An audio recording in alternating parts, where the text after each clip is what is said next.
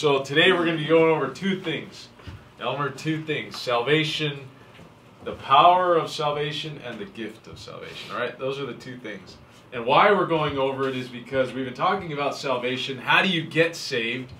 And now we're that was the last one about that, how you get saved. Now we're going into the process of it and uh, what God is doing on our behalf behind the scenes that we don't really see.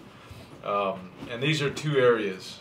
So I gave you guys a scenario last week about this Hawaiian gentleman, and I want to just give it to you again just to. Can you take the race out? Uh, let's just take out the races. No Hawaiians. Let's do Mexican instead. I'm just kidding. there was a gentleman, all right? Tore up guy, sinful to the bone, uh, murderer, thieving, um, cheating, um, gang banging, killer. All right? He goes to church and he uh, hears the message uh, Jesus died for your sins, He can save you. Come on in. Uh, he, he died for your sins, He can save you. And he hears the message and um, he decides that he does want to he does want to give his life to Jesus. He does want to be saved. So he walks, uh, the, the, the pastor asks if anybody wants to accept Christ, surrender your life to him, walk up here. All right, and the guy does. He walks up and he says a prayer. And I asked last week was if he said that prayer, when is he actually saved? Or is that prayer even enough? I think those are the two questions. Let me ask you guys again. First, let's ask, is the prayer enough? Yes. Jerson says yes. Anybody else? Carla says yes. Carla says yes. Is the prayer enough? And for David who just walked in, we were, we're just going over the whole thing. I gave a scenario last week, and I gave it again. This wretched guy, sinful, killing, cheating guy, walks up, wants to be saved. He, the, he, the preacher says, whoever wants to, come forward, and he does. And he prays the prayer, save my life. Is the prayer enough? All right, first question. Steve, what do you think? Yeah. Sounds like he's sort of sure. All right. Is the prayer enough to be saved? I want to change my answer actually. Okay. I feel like this is a bi-conditional thing though because It's de- it depends. right yeah, if yeah, they yeah. Uh, Yeah. give us more details about this. prayer. Okay. Uh, well, it, Romans 10:9 or 9:10, I forget what it is. If you confess with your mouth that Jesus is Lord and believe in your heart that He rose from the dead, you will be saved. Did We're he assuming he believed. heart? We're assuming he believed in Yeah, his well, heart. if Assuming He truly believed. Yes, Yes, assuming he truly believes. Tru- assuming He Yes. truly believed. Then Then amen. yes. Okay, then at I'll that see him up there. Okay, so that was enough. Secondly, at what point in time is he truly saved? Say, does it is it between that time and when he actually gets baptized a few weeks later? Then the deal is Sealed. sealed, or was it at that moment? Well, according to some people, it was before time even began, Yeah. right? Amen. All right. What do you think, Elmer? Not sure. That, hey, we're just asking, man. I ain't trying to judge nobody. Wrong answers, none of that. We're just learning. When was he actually saved? At that moment, could he be excited? Yeah, I'm going to heaven. I'm forgiven. I've got eternity. Or does he have to wait, you know, until he um, until he gets better, until he his character, his conduct improves? Um, For me, Okay. it was at that moment. okay, Carlos says at the moment. What did you say? That very instant. When did he receive the Holy Spirit? Ooh, that's a harder one. That's mm, Okay, was it is it is it with salvation or is it at another point in time? Um, It's both. okay, Has to be. has to be both. He says. Hmm. Didn't Yeah. we read that our- our salvation is sealed by the Holy Spirit? Yeah. mhm. Yeah. I don't know that you can have one without the other. I don't think that's how it works. That the self, that the spirit is the one that does the work, the saving. So both, we'll have to hear Christian's thoughts later. But you know, it's it might, it's deeper than that, of course. Mm-hmm. Mhm. Okay, and today we're going to uh, talk about. So now that he's done that, how does he know for sure that he's saved? And there's two reasons, and actually there's three reasons. We're going to only get into two today. How do you know for sure? Is one is because of the power of God, two because it, salvation is the gift of God, and three because it's the work of God.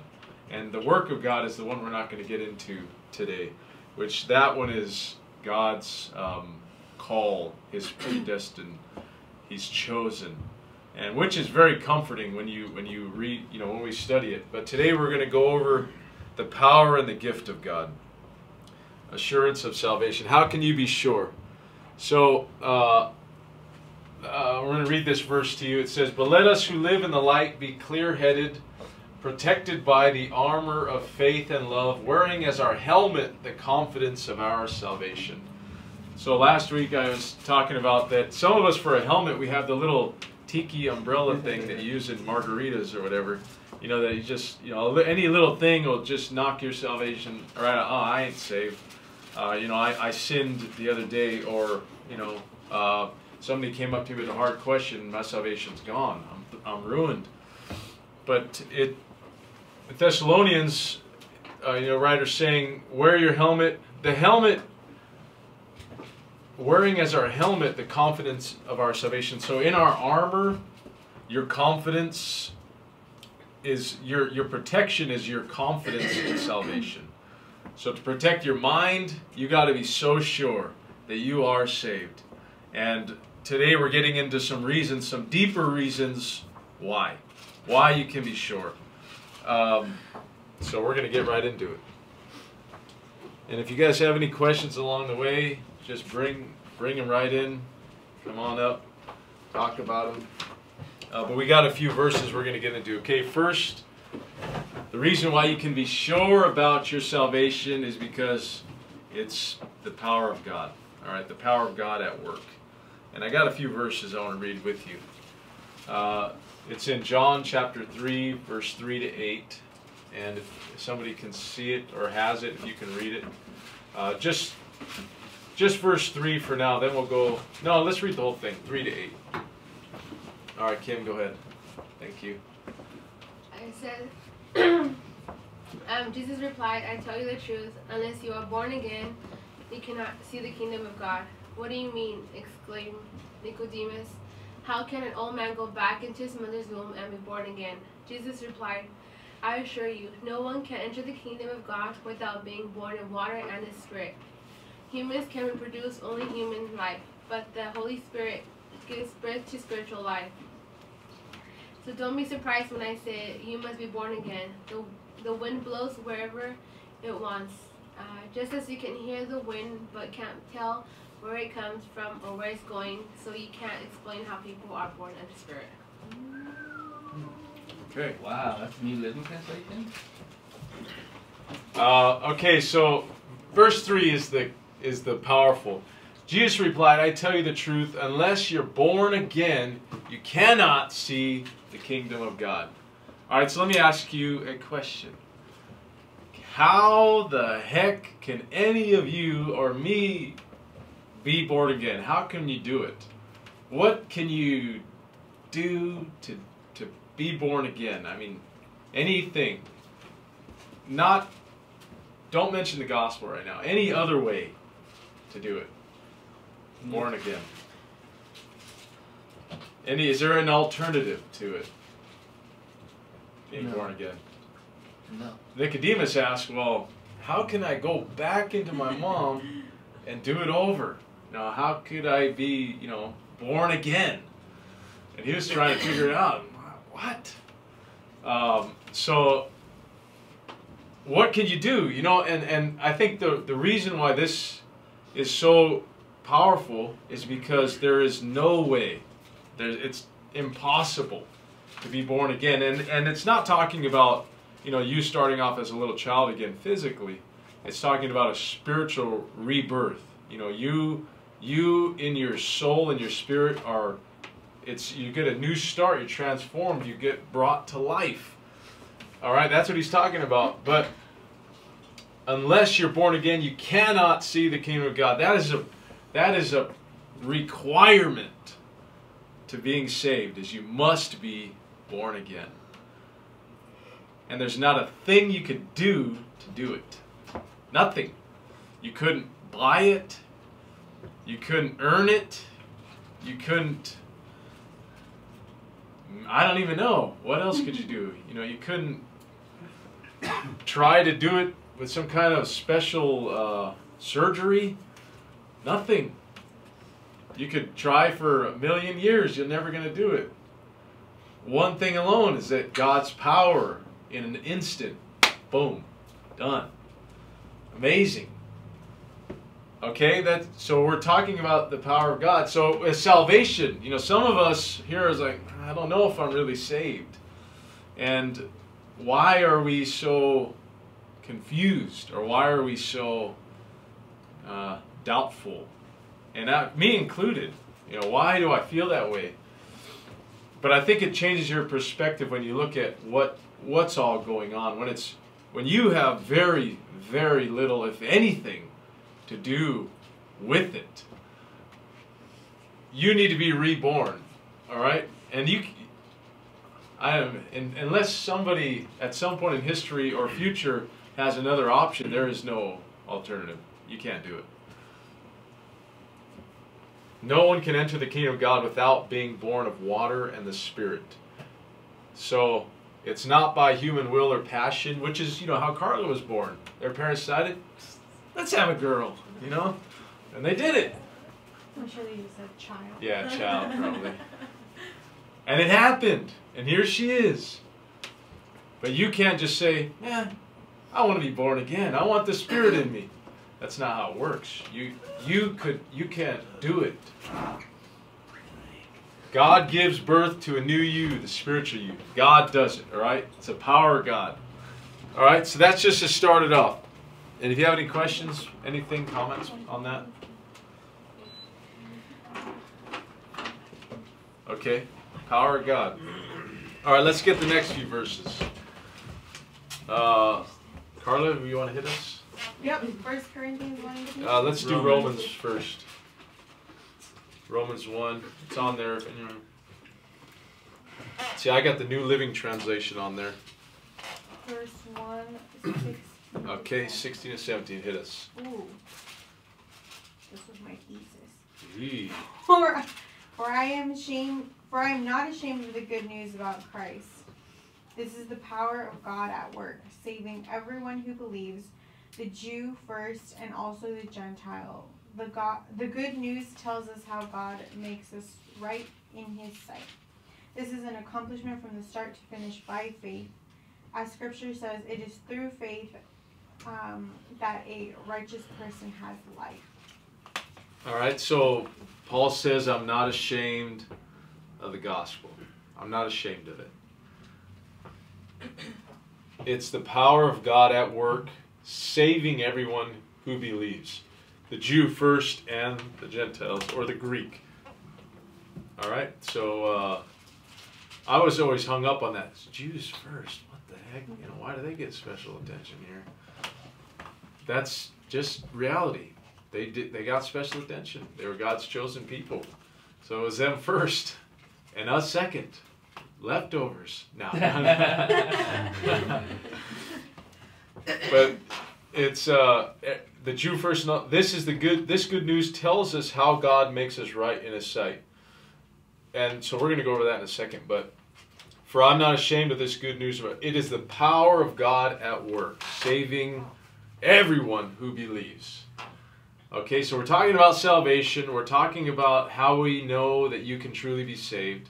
How do you know if you even are saved? But how do you get saved?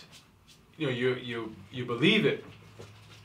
But some major thing happens that's bigger than anything you could do, and that's the power of God at work, saving you. It's God's power. And? And let me ask you a question: What is the power of God working through? You know, how is this all taking place? If you were just to read, uh, reading that verse, it seems like the, there's there's a uh, what's the word? There's a vehicle this power of God is moving through. Binding. Huh? What? Like binding? You think that's binding it? together? No. How's it? How's the met, How's the power getting to you? It's through something. Spirit of God. Well, yes, but there's something else. Oh, faith. No, there's No? something else. I mean, just from this verse, there's something in there that something has power in it. The good news Yeah. Christ. The good news. Yeah, euangelion, I think is the Greek word. Evangelion. Evangelion, yeah. It's a it's there's power in a message. Crazy, you know, this good news. Mm-hmm. And you know, some of us, I you know, I used to think that oh well, you just say the gospel, boom, people will start falling, and it's all you know, that's all you got to do. There's power in it. Just just say the word and bada bang, you know? It's like magic. That's not necessar that's not how it is. It's it's not a magic phrase. That's not what it is. It's it's a message and it's a truth. When it's communicated and people believe it, something powerful happens. And they're they're born again. Um, they're saved. Some and it's it, we're gonna. I think it's in the next verse. We'll read a little bit before that, but to some people that sounds crazy. Are you telling me that it's just a, preaching this word to people, you know, using using uneducated people, anybody could anybody could deliver the gospel message and people could be saved? Ah, it's got to be harder than that. But there's power in the message because it's it's true. Um, so I was listening to uh, R.C. Sproul a little bit, and uh, he mentioned something, and I thought about it. Uh, you know, you guys see the movie The Nun lately? Oh, bless you. Bless you. You don't watch those demon movies. Uh, but in the movie, there was this demon presence, some kind of witchcraft thing coming out of this. Oh, I don't know, some spell, and the only thing that could contain it was it the blood of Mhm. Jesus. It was the actual blood of Jesus, and there was power in his blood, and so all they had to do was just pour. it. Was it pour it on something or the girl? Sprinkle it. sprinkle it, and that the power was in the blood, the actual physical blood. Um, and uh, you know, you think about that. You know, like what if you know we see movies. What if you found the cup Jesus drank from? Right? It was uh, Oh, that's the uh, that's Uh, Indiana Jones. Indiana Jones. You know, they were looking for the cup, and if you drank it, you'd have eternal life. Um, I've heard that R.C. Sproul is saying that somebody had the pants of Joseph, his dad, uh, his pants, and if you had those pants, You wear pants. well, yes, okay, You'll never find them. or or Mary's breast milk, somebody preserved it, and if you had that, the power is certainly with you. you know or all these things you know you know you get you get that even there was even at times to where which is biblical where uh, peter walked by and his shadow alone would save people you know some people took his uh, paul's Yeah. handkerchief Apron. yeah, and it would say, you know, there's, but the I the, I think where we get it, yeah, that's amazing. I mean, that's a whole another topic, but is that we kind of lose sight of how powerful the gospel alone is. That you don't need anything else. You don't need it accompanied by the actual blood of Jesus or the the cup he drank with the the power of the gospel paul says that this power is at work saving everyone who believes it.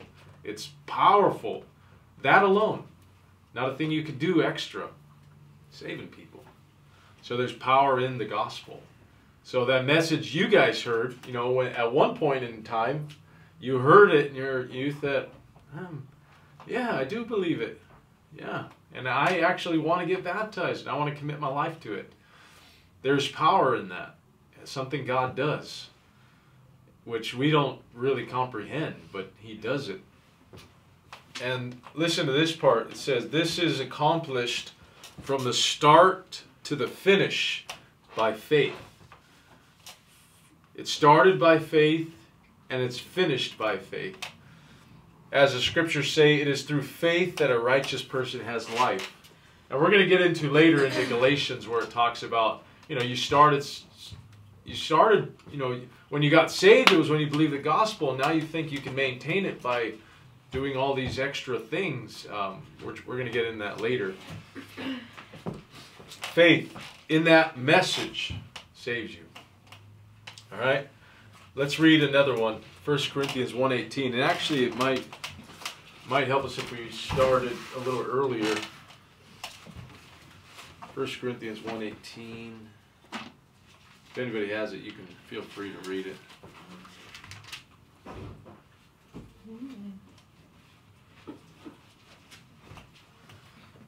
All right, Abigail, go ahead.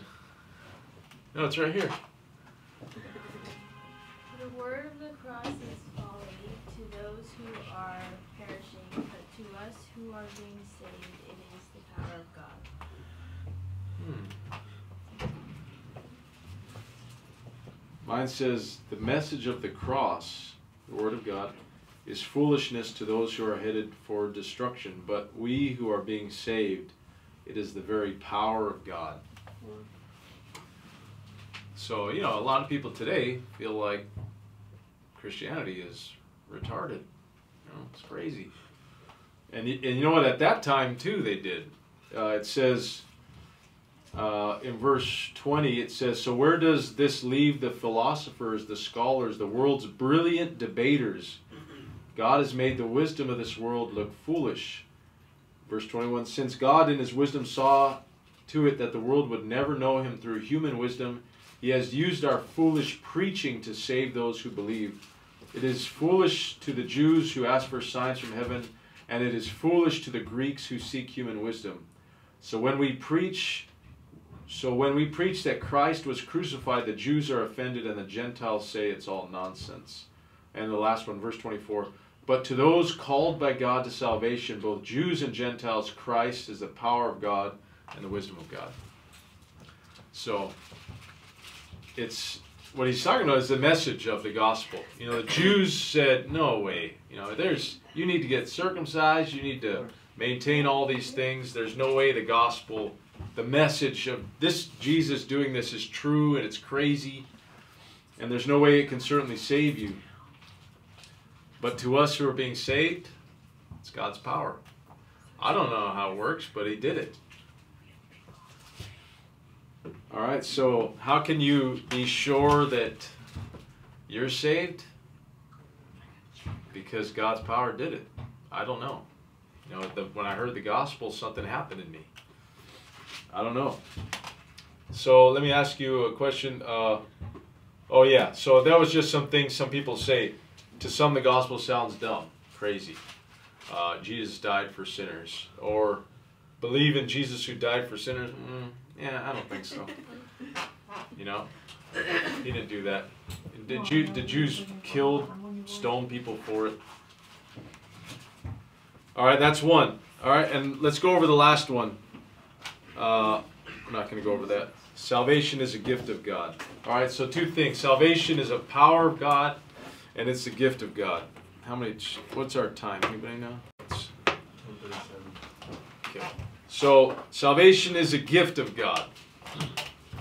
Okay, so we're all doubting, like, mm, I don't know if I'm really saved. Still, even today, even this week, I'm sure some of us, Steve, maybe at one point this week, you know, he wondered, he woke up, I'm a filthy sinner, you know, and I got to figure out how to get this. I don't know, maybe not, but we all have our moments.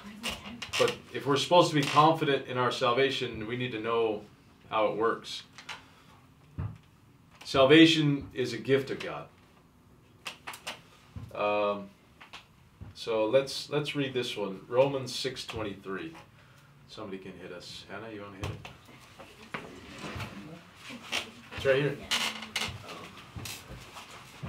For the wages of sin is death, But the free gift of God is eternal life through Christ Jesus our Lord. All right, you want to explain that for us a little bit? You're gonna die for your sins. Ugh, You not to be so honest. All right, well, yeah, okay, you're gonna die of your sins. What else? The free gift of God is eternal life. By grace, the gift Oh, of the hey, you didn't get that far. Oh. All right, so the wages of sin is death means um, because Elmer decides to sin on multiple occasions throughout the day, you're gonna die. Okay, that's what you deserve. Getting what you deserve. Your wages, your payment, your reward is death. The wages of sin is death, and you know what? All of us have sinned. All right, I'm sure at least once this week, somehow, some way, if you just looked at the Ten Commandments alone, you failed. You know, number five, being late to church. Several of you. Hell. I was kidding. I'm kidding. Um, the wages of sin is death. Okay, so we all deserve to die. Everybody. But, but, the free gift of God or some versions just say gift of God, is eternal life through Christ Jesus our Lord. All right, so I think we skip over this way too quick. Okay, let's just one more time. You deserve death, which you will die. Every one of us. Some of us more earlier than others. I'm hoping to go to 90s, but Why? but I'm gonna die. That's my penalty. I will die. And even beyond that is I actually would go to hell if not for the free gift of God. So the word gift is in Greek is charisma. That's not actually how you spell it, but that's a gift of grace, a free gift. Okay? So you deserved to die, go to hell, but somebody gave you a gift. Uh, I don't know, like on I thought I heard in Fortnite that people can give you stuff, or maybe that was just in the that Dove movie. What was that? With that girl, the bone arrow girl. Uh, Hunger Games. At Hunger Games. You know how they like the crowd gave her a gift. She needed something ointment to when she got burned and all that. Um, you want to say something? No. Okay. But you know, you think about that. That she, you know, she of course she was trying to earn the crowd's favor and all that, but she just got it. It was a gift. She couldn't try and purchase it or anything. So charisma is a gift of grace, a free gift. Um, the definition is a gift of grace, a free gift, undeserved favor, undeserved. So anybody here who has salvation, say some of you guys are so confident. Of course I am saved. You know, why wouldn't I be? You know all this stuff. Uh, you don't deserve it. There's you should have zero pride in your salvation. You you should be totally uh, humbled because there is not a way you could earn it. You certainly do not deserve it. For not a thing you can have done or ever will do. You do not deserve it. We we should not be saved. That's what the verse is trying to tell us that we deserve to die and we deserve to go to hell. Some more than others, you know, like I'm sure David might deserve it more than Kimberly. I don't know. No, I'm just kidding. Some more than others, but that's not the point. It's undeserved grace. All right, so God gave you a gift. We're coming into Christmas, and I know, you know, that a lot of people are giving gifts away. giving Yeah. gifts. All right, and and that's just think about that. If someone were to give you a gift and you never gave them anything, and he's like, "What the heck? Oh, thank you." You know, uh, you're a filthy wretch, but I love you. You know, Uh, you never give me anything, but I here's a gift. All right, you guys. I think for us, for you to be confident in your salvation, you got to realize that it's a gift alone, undeserved. It's free. You do not deserve it. Okay? And if you're still confused, let's read the next verse Ephesians 2 8. And David, would you mind? Ephesians 2 8. God saved you by His grace when you believe, and you can't take the credit for this. It is a gift from God. Okay. So, what can you do to be more, uh, or what could we have done to maybe earn this salvation? Nothing. Are you sure? Earn it. You know? I, yeah, I can't. God saved you by His grace when you believed. But what about His grace? How can you earn His grace? Can't earn grace. You can't earn His grace and you can't earn His salvation. You can't earn the gift. Sounds like your hands are tied. That's how I felt. Sounds like your hands, and you can't take credit for this. It's a gift from God. No credit can be taken from this. It's a gift of God. All right. Any questions up to this point? Anything that's messing with your brain? Samuel told us last night that you have to be willing. Mm. So therefore, is the willing a sort of Earn deserving? deserving. Yeah. Certainly seemed like that. I know we were talking about David last night, and when he looked at his heart, and that's why God gave him the spirit because he was he had a good heart. But he also took it away from somebody to give it to him, which makes it a little more complicated. Well, as we're going to look into next week, that God had this thing planned all along. You know, before David came out of the womb, God already knew you're mine, buddy. You know. Yeah. And you know what? Again, looking into it, it's a little scary, but how comforting to know that God chose you before the world even was even before anything. I chose you. You know. And I think today the whole point of going over this is to realize that you're you have, like I said, nothing or at very very little, if anything, to do with your salvation. You getting saved. You having eternal life. We all think that it's all us. Oh, it depends on how I act in church. You know, it depends on all this. And we, again, we're going to touch on that later. But it the the act the the act of saving is Jesus alone when he died on the cross. He saved you when you believe. When you when you trusted in him, he saved you eternal life through Christ Jesus our Lord. God saved you by His grace when you believed, and you can't take credit from this. It's a gift of God. All right, so let me ask you a few questions. Uh, why are you saved from God's wrath and given eternal life? Why? I ought to think about that too. Why are you saved from God's wrath and given eternal life? I think what I was trying to say is why would God save you? What's the point? Yeah, what's the point or why you, you know? why would God save you from his wrath and give you eternal life? Why would he do it? This is fun. It's fun. All right, Elmer, say he was God was going to save somebody. Not you, but somebody else. I'm just kidding. If he were to do it, why would he do it? Why would he save Josh? Why him? Why go to Honduras when you're right here in America and save somebody? I mean, not Honduras, sorry. Venezuela. Why travel all the way over there when there's plenty here in this church? You know, before he got here, I mean. Why are we saving God's wrath? because he wants you to be up there with him. Or whatever he. He loves you. All right, that's why. Because he loves you.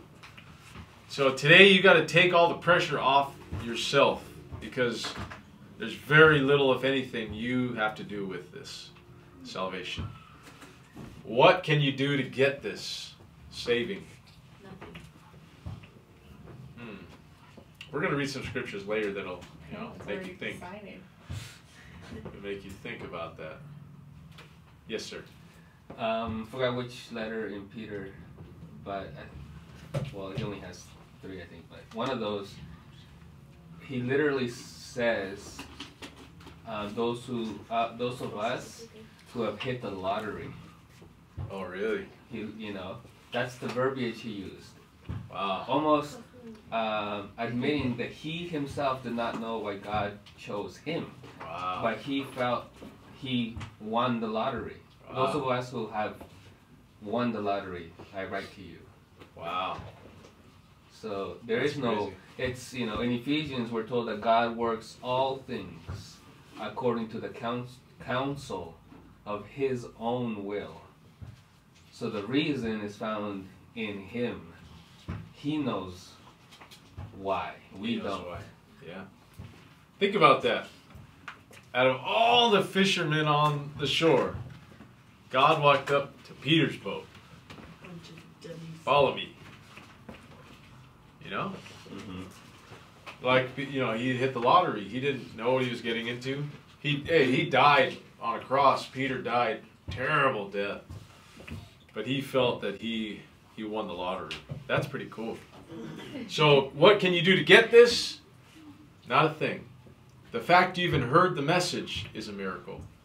The fact that it got into your ear and it went to touch this portion, you know, your heart, which is somewhere in there.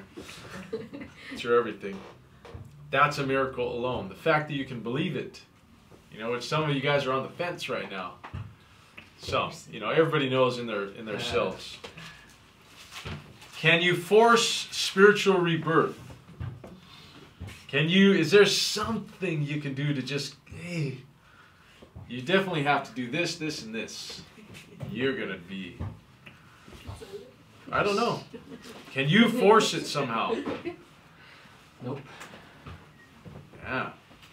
Spiritual rebirth. Nothing human or physical about this. God does it. Undeserved. Uh, and the last question when you doubt your salvation, okay, this is for you and me.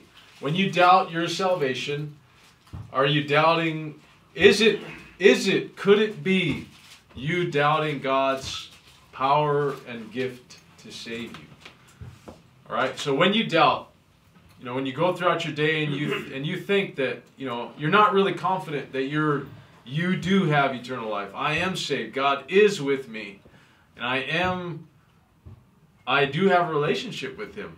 And I, you know, and I'm moving forward. Is it is it because really deep down you doubt that God has the power to really save you once and for all? Or you just don't understand it. Yeah, or you don't understand it. So- Something's on his tongue. For myself, I I doubt sometimes. I doubt my own salvation, but what makes me doubt is not a. Uh, for me, it's never been a matter of whether God can do anything. It's just a matter of whether He is willing to do it. And it's usually because of my thoughts and my actions. I ask myself, why would God Right, save me? Because I know myself. right. Hey, that's a good good point. Yeah. Yeah, when we think about some of the things we think about, hmm, I don't deserve this. Uh, so just just to close, uh, anything you guys feel? What makes you guys doubt your salvation? Just you know, throwing the question out there to you guys. Kirsten shared his when he looks at himself and what he does, what he thinks. Why would you want to save me? I think for me, it's looking at others. Like, why not them? Why me?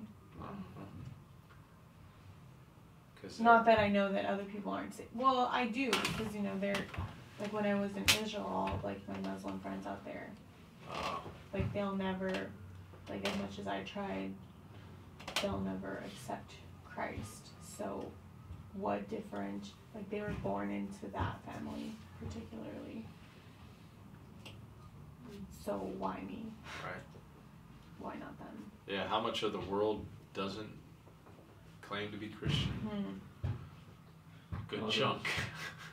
Most of it. All those Hindus, Mhm. Buddhists, Muslims, Atheist. atheists, Jews. Yeah, we're in America. Everybody says they're Christian, but we're we don't. This isn't the whole world. There's Mhm. a huge portion of the world out there. Yeah, why you? What else? What else makes you doubt your salvation? Any thoughts? Steve? You ever have doubts? Yeah. What makes you doubt? Myself, looking back at the things that I did, Yeah. Any of us still sin today? Amen. Not David though. you know, oh, you when we when we mess up now, we doubt it. I do. You know, if I mess up bad, I just like, man, I don't, maybe I ain't really saved. Maybe this didn't work. And it's like I've been I've been saved for so long. How am I still messing up? hmm Mm. Yeah. You know, because we we start looking at ourselves. You know, we take the focus off Jesus and we start looking at ourselves and then, Mm-mm, no way. And I think, yeah, what what this whole point is is that you've got to shift the focus. The saving is not you, Mm-hmm. it's Him. Jesus saved you, and you need to trust that His work does it. That there's power in that message. There's power in that truth. It's not a magic phrase or a magic word. It's a real, it's a real event. It's a real person who really did this Mm-hmm. the gospel you know and and you know you think about um, maybe the focus we put on other things. You know i think about that as a youth ministry. You know we have activities and we try to do death to lives or things fun to to reach people. But you know all that is great if we miss the one most important thing is the message of the gospel. It's powerless you know because that's where the that's where the power is is in the message of Christ. And what he did and God just uses that somehow. Like Paul was saying you know we preach Christ crucified. It's foolishness to people but to the people who believed it's the power of God saving and working. Um, so I think that's where I've been finding my more confidence in in my salvation is that I think the enemy, the devil uses that to his advantage.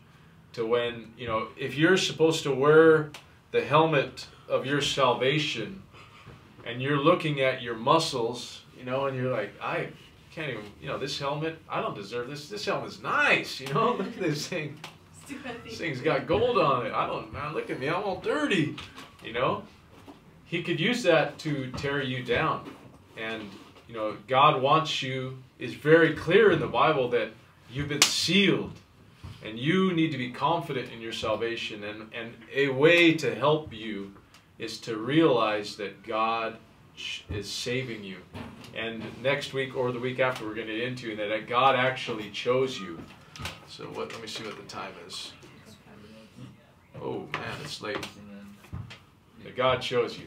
So I'm sorry. So uh, again, that's it for today. Uh, we're gonna go into it next week even deeper than this. Uh, if, if it isn't next week, it's week after.